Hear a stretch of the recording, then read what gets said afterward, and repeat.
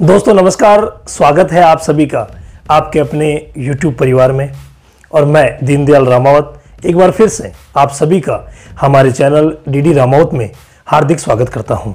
साथियों, आज की हमारी ये वीडियो उन सभी भाइयों के लिए खास होने वाली है, जो भाई अपने घर पे कुत्ता लाने की सोच रहे हैं, यानी डॉग पालने की सोच रहे हैं, उनके लिए ये वीडियो बहुत ही खास रहेगी। साथियों, हम हमारे चैनल के डॉग सेक्शन में हर वीडियो में डॉग से जुड़ी हुई, कुत्तों से जुड़ी हुई कोई ना कोई जानकारी, किसी ना किसी समस्या के समाधान, किसी ना किसी बीमारी के इलाज रख रखाव कारण, लक्षण और घरेलू जो उपाय है, वो कई ऐसे घरेलू नुस्खे जो विरल है, आपको कहीं नहीं मिलेंगे।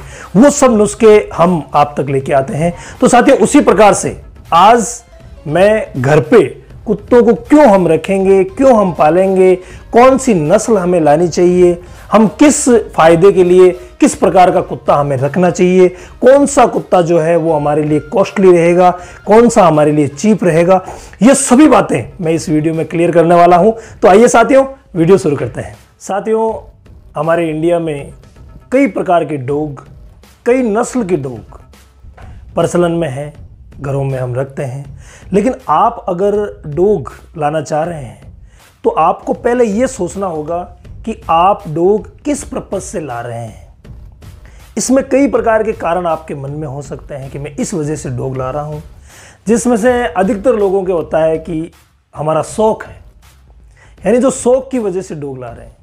कई लोग सोचते हैं हम घर की रखवाली के लिए ला रहे हैं। कई लोग अपने फार्म या फार्म हाउस की रखवाली के लिए डॉग लाते हैं। और कईयों के बच्चे हैं, वो जिद करते हैं कि, पापा, डॉग लाओ। तो उसकी वजह से वो डॉग कुत्ते घर पे लाते हैं। तो इस प्रकार से कई कारण कुत्तों के लिए हो सकते हैं, लेकिन कुत्ते इंसान की ज़िंदगी में कई प्रकार के फ़ायदे भी करते हैं। जिसमें से सबसे जो बड़ा फ़ायदा मैंने जो देखा है, वो ये देखा है कि जो लोग डिप्रेशन में रहते हैं, दबाव में रहते हैं, टेंशन में रहते हैं उनके लिए डॉग बहुत ही अच्छे रहते हैं। तो साथियों, डॉग पालने के फ़ायदे भी कई है, कई नुकसान हैं, जो हम अलग अलग वीडियो में आपको बताते रहेंगे। अगर डॉग के बारे में हमें संपूर्ण जानकारी रही, उसकी नस्ल के बारे में, उसके खान पान के बारे में, उसकी डिवॉर्मिंग के बारे में, उसकी वैक्सीनेशन यानी टीकाकरण के बारे में तो हमारे घर पे जो हम डॉग रखेंगे, वो हमारे लिए फ़ायदेमंद भी होगा और हम आसानी से उसको रख सकते हैं। कोई भी प्रकार की असुविधा नहीं होगी। साथियों, डॉग की कई नस्लें हैं जो हम आसानी से परचेज़ कर सकते हैं। हमारी इंडिया के हर कोने में वो हमें आसानी से मिल सकती है। लेकिन हमें लाना कौन सा है? उसके लिए मैं आपको सलाह देना चाहूँगा, अगर आप अपने घर की रखवाली के लिए डॉग ला रहे हैं तो आप डॉग लाइए जर्मन सेफर्ड जर्मन सेफर्ड बहुत ही वफादार और तेज़ कुत्ता होता है और उसको अगर ट्रेंड किया जाए तो इससे अच्छा कुत्ता कोई हो ही नहीं सकता। जो हमारे लिए पूरे के पूरे काम करता हो। साथियों, डॉग जो होते हैं, वो हम उनसे तीन प्रकार के फ़ायदे ले सकते हैं, या तीन प्रकार की उनकी प्रवृत्ति होती है। पहली जो प्रवृत्ति मैं मानता हूँ, वो है अग्रेसिव यानी हमारा जो डॉग है, वो अग्रेसिव होना चाहिए। दूसरी जो कैटेगरी है, वो है प्रोटेक्टिव साथियों अग्रेसिव अगर है, और वो अगर ज़्यादा अग्रेसिव है, हर जगह ही आक्रामक रहता है तो वो भी काम का नहीं है। यानी डॉग को अग्रेसिव के साथ साथ प्रोटेक्टिव भी होना ज़रूरी है। यानी ऐसा डॉग हो जो अग्रेसिव भी रहे और प्रोटेक्टिव भी रहे। तो हमारा ये जो जर्मन सेफर्ड है, वो अग्रेसिव भी है और प्रोटेक्टिव भी है। इसके अलावा जो हम डॉग की कैटेगरी देखते हैं, वो है फ्रेंडली अगर हमने जर्मन सेफर्ड को ट्रेंड कर दिया, परिवार के साथ वो रह रहा है तो वास्तविक रूप से बहुत ही अच्छा फ्रेंडली डॉग है। यानी हम जर्मन सेपर्ड आराम से अपने घर पे ला सकते हैं। दूसरा साथियों, घर की रखवाली के लिए, यानी जो गार्ड डॉग है, वो पहला तो जर्मन सेपर्ड हो गया। दूसरा जो है, वो है ग्रेट डेन साथियों ग्रेट डेन जो डॉग होता है ना, उसमें बुद्धिमानी डॉग के लक्षण बहुत ज़्यादा होते हैं। यानी इसे बुद्धिमानी कुत्ता भी कहते हैं। यानी उसकी समझ जो है, वो बहुत ही अच्छी होती है। उसे अगर अच्छी तरह से ट्रेंड किया जाए तो वो हमारे लिए अखबार भी ला सकता है तो हमारे लिए कोई भी प्रकार के काम जो है, वो इजीली कर सकता है। और बहुत ही एग्रेसिव प्रोटेक्टिव और फ्रेंडली टाइप का है। और ये जो नस्ल है, वो ज़्यादा अग्रेसिव भी नहीं है कि जो खुद मालिक को ही नुकसान पहुँचा सके। तो ये नस्ल जो है, वो भी बहुत अच्छी है। बस इसे इतना ही थोड़ा घुमाना फिराना पड़ता है। वॉकिंग बहुत ज़्यादा ज़रूरी है। तो वैसे तो साथियों, कोई भी डोग आप लाएँ वॉकिंग के बगैर वो एक्टिव रहेगा ही नहीं। और वॉकिंग कंपलसरी है, जिसके लिए मैंने अलग से वीडियो बनाया है, वो भी आपके सामने प्रस्तुत करेंगे।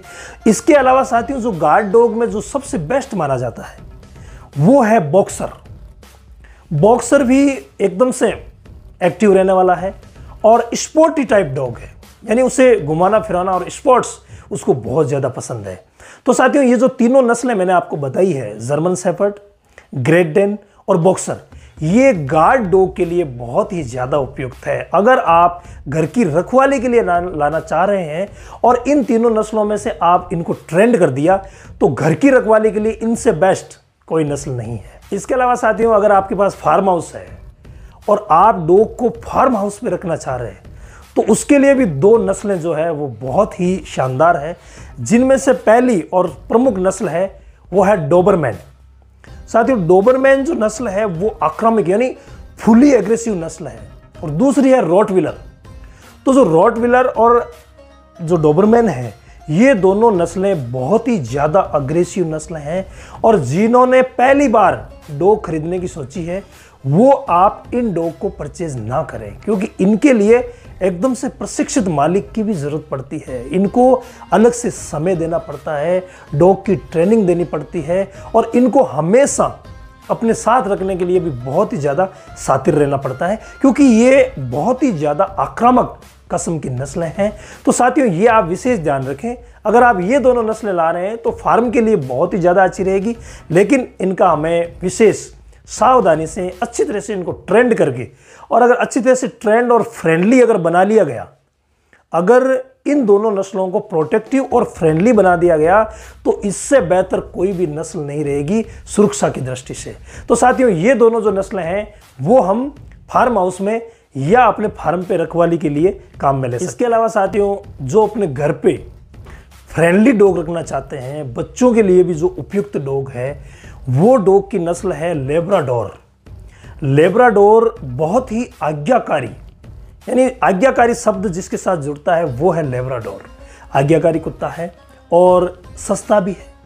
इसे घर पे रखना चीप होता है। शुरुआत में अगर कोई भी हम फ़ीड, सेरेलेक वगैरह देते हैं, उसके बाद उसे घर के खाने पे आसानी से डाला जा सकता है और घरेलू मेंबर की तरह लेब्राडोर रहता है। तो आप अगर घरेलू यूज़ के लिए यूँ ही हमें चाहिए, शौक के लिए हमने घर पे कुत्ता चाहिए, बच्चों के लिए मान लो साथ खेलने के लिए तो लेब्राडोर बहुत ही अच्छी नस्ल है। इसके अलावा साथियों, पोमेरियन, जिसे सही नाम जिसका पोमेनेरियन है, उसे भी आप आराम से घर पे रख सकते हैं और वो भी एक बहुत ही अच्छी फ्रेंडली नस्ल है। और छोटा सा कुत्ता होता है वो, ज़्यादा बड़ा नहीं होता है तो कम जगह में और हम आसानी से उसको मैनेज कर सकते हैं। बच्चों के लिए बहुत ही ज़्यादा फ्रेंडली होता है। घर पे खेलने के लिए वो बहुत ही अच्छे मतलब थोड़ी सी जगह में वो खेल कूद करके बहुत ही अच्छा एकदम से एक्टिव रहता है और आज्ञाकारी भी है। तो आप पोमेरियन कुत्ता भी आप आराम से पाल सकते हैं, ला सकते हैं।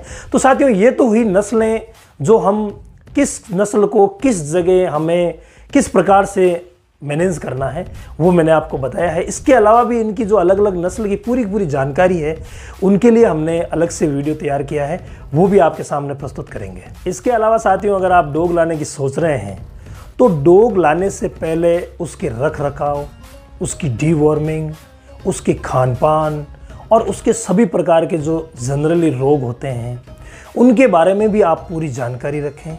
ताकि वो जानकारी आपके लिए बहुत ज़्यादा फ़ायदेमंद होगी।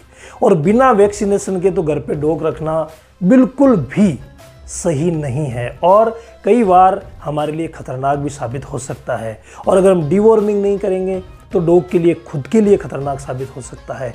इसके अलावा साथियों, अगर आप डॉग लाने की सोच रहे हैं तो ये भी आप हमेशा ध्यान रखें कि कोई ना कोई घर का सदस्य आपके घर में मौजूद रहना बहुत ज़्यादा ज़रूरी है, क्योंकि डॉग को अकेला रखना खतरे से खाली नहीं है, सही नहीं रहता उसकी हेल्थ के लिए भी और जनरली भी सही नहीं रहता।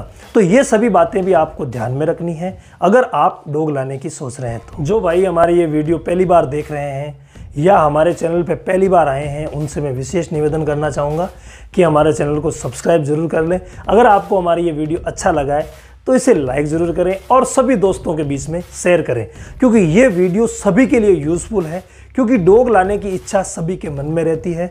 तो आप डॉग से संबंधित ये जो जानकारी मैंने आपको दी है, वो आप जानकारी उन्हें दें। और मुझे ये आशा भी है कि आप सभी लोगों को ये जानकारी बहुत अच्छी लगी हो।